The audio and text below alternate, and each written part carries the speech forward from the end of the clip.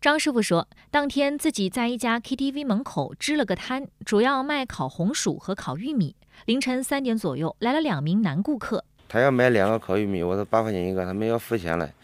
又来两两个女的，说要非要给六块，我说我，我这个一夜这么冷，我就为了赚这两块钱。他说你要你要不是六块，我们不买了。我说不买就不买了。张师傅说，两名女顾客和男顾客是一起的。从 KTV 出来之后，在边上的饭馆里吃饭。女顾客临走前回头说，她不会做生意。那旁边有个代驾，代驾就讲了，是的，又不用他掏钱。哎，他他有什么呢？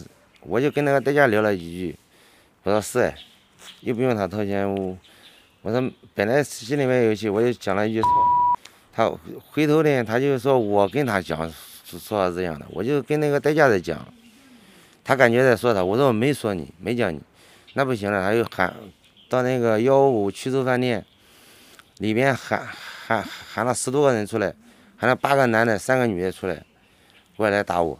张师傅提供了当天拍摄的照片，嘴唇上有血迹，手腕处有抓痕，医院的出院诊断写着颞肌挫伤、唇挫伤，多处软组织挫伤。他们从那外边给我。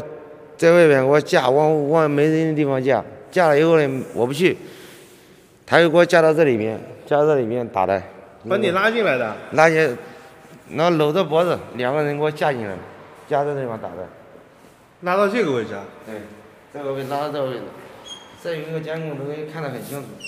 张师傅说，印象中当时动手的至少有三个人，他从派出所了解到，现在只抓了一个人。记者找到杭州萧山区通惠中路上的事发地点，张师傅说的那家衢州饭店也已经换了招牌。啊，招牌是我的，但是我前段时间我们是幺五，他是幺五五衢州菜，现在牌子我们牌子改过了，换老板了。那之前那个老板的电话你有没有的？他们不是那个去派出所了吗？他们。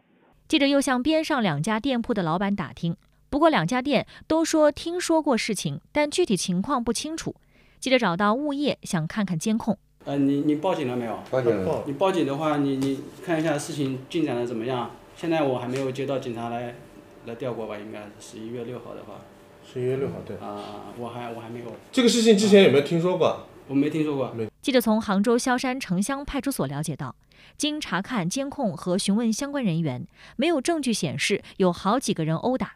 十一月十三号，已对涉案人员依法行政拘留并处罚款。